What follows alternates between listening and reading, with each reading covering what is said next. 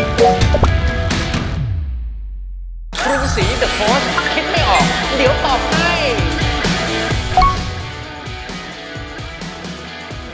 คือการไม่มีหนี้เนี่ยเป็นลาบมันเสริฐเลยนะคนฝนคนเราเนี่ยมันมีหนี้หลากหลายทางมากหนี้หลากหลายแบบมาก ถ้าเกิดอยากจะให้หนี้ให้หมดไวจริงมันมีสองแบบ นะครับ เอาแบบแรกก่อนเลย เอาหนี้มาเรียงกันก่อนเลย อันหนี้ไหนอะที่มีดอกเบี้ยแพงที่สุด เราจะเคลียร์หนี้ที่มีดอกเบี้ยแพงสุดก่อน เพราะว่าดอกเบี้ยที่มันสูงเนี่ย มันจะกินเงินของเราไงนะอ่าก็ดอกเบี้ยมันเคลียร์ก่อนแพง ใช่ เคลียร์เขาก่อนอ่าพอเคลียร์เสร็จปุ๊บอะตัวต่อไปก็ค่อย ๆ เคลียร์ไล่เรียงกันไป แบบนี้แหละคือการเคลียร์ดอกเบี้ยที่แพงที่สุดก่อนครับ อีกหนึ่งอันอืมก็คือเคลียร์หนี้ที่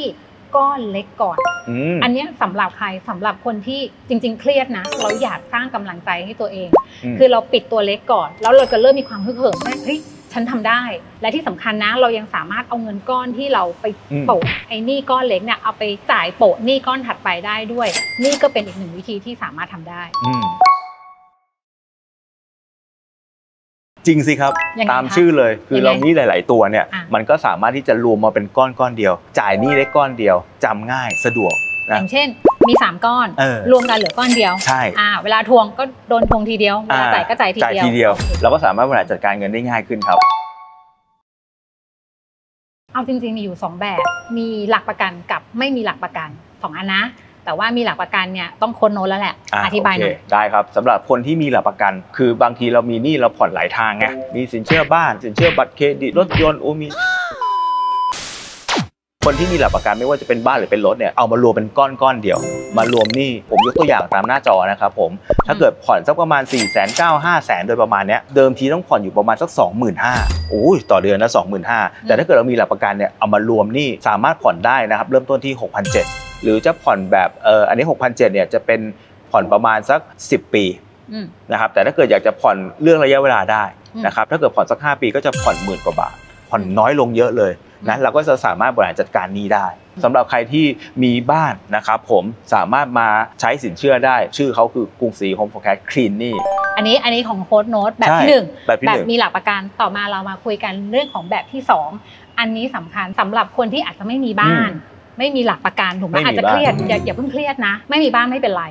เราเครดิตดีเราเดินเข้าไปหาแบงค์ได้เหมือนกันเพราะแบบที่สองคือแบบไม่มีหลักประกัน ไม่มีอะไรเลยนะ มีอย่างหนึ่งมีอะไรเครดิตดีอ๋อคือแปลว่าอะไรเราต้องเป็นคนมีวินัยทางอืมการเงินอะอ่าเราเดินเข้าไปปรึกษาธนาคารได้แล้วลองยื่นกู้ดูอืมถ้าเกิดใครที่เครดิตดีมากๆ จะได้อืมทั้ง เงินที่มันเหลืออยู่ก้อนเดียวมันถูกอืมดอกเบี้ยอาจจะได้ดอกเบี้ยพิเศษอืมเพราะจริงๆ สถาบันการเงินหรือแบงก์แบงก์กรุครังบศรีเราเนี่ยคก็รับมีสินเชื่อส่วนบุคคลดอกเบี้ยพิเศษเนี่ยมีดอกถ้าเบี้ยสมมติถูกๆอะนะมีเลยอันนี้คือโบนัสสองเด้งอืมหรือถ้าสมมุติเราครับได้ดอกเบี้ยเท่าเดิม แต่มันรวมหนี้หลาย ๆ ก้อนเป็นก้อนเดียว อันนี้ก็ช่วยให้หมดหนี้ได้เร็วนี่แหละขึ้นได้เหมืคีอนย์เวิกัร์ดของเราเลยอืมนะครับคือรวมหนี้แล้วก็ผ่อนได้ก้อนเดียว ใช่เพราะจำโจทย์ง่ายโจทย์เราคือต้องการให้มันเหลือก้อนเดียวไงใช่ครับบริหารจัดการง่ายถูกไหมชีวิตจะได้ไม่ต้องเครียดแล้ว ไม่ว่าจะเป็นทั้งมีหลักประกัน หรือไม่มีหลักประกันก็สามารถทำได้ ติดต่อที่ธนาคารกรุงศรีได้ เป็นสินเชื่อกรุงศรี Home for Cash Clean หนี้นะครับและอีกทางหนึ่งก็คือไม่มีหลักประกันอืมติดต่อธนาคารกรุงศรีทุกสาขาได้เหมือนกันนะคะ ในโปรแกรม Balance Transfer ค่ะ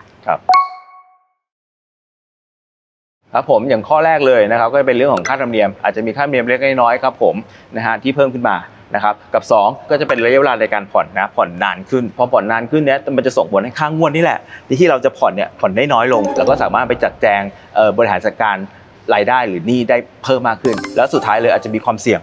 เล็กน้อยคืออาจจะสร้างหนี้เพิ่ม ถ้าเกิดเราบริหารจัดการไม่ดี เพราะเรารวมหนี้เรียบร้อยแล้วไงอ๋อเรามีรูมเหลือไง ถ้าเกิดเราไม่คุมไม่ไม่บริหารจัดการ อาจจะอือฮึมีภาวะในการเพิ่มหนี้ได้อีกครับ ต้องระวังนะ คือเรามีรูมเหลืออยู่ อย่าเผลอ เอ้ยศูนย์เปอร์เซ็นต์มาอีกแล้วอ่าอะไรนะ iPhone รุ่นใหม่ออกอีกแล้ว เหลือผ่อนได้อีกรายได้ฉันยังมีเหลือนะ สามารถผ่อนเพิ่มได้อีก อันนี้ต้องระวังต้องระวังใช่ครับ ไม่ยากครับไม่ยากเลย เพราะว่าคนที่เริ่มมีความคิดว่าอยากจะรวมหนี้เนี่ยแปลว่ามันมีแรงบันดาลใจแล้วใช่ไหมคะเพราะฉะนั้นพอแรงบันดาลใจมาเนี่ยเตรียมวางแผนเลย เราต้องวางแผนว่าพอรวมหนี้เสร็จปุ๊บเราจะวางแผนใช้หนี้ยังไง จะก้าวต่อไปยังไง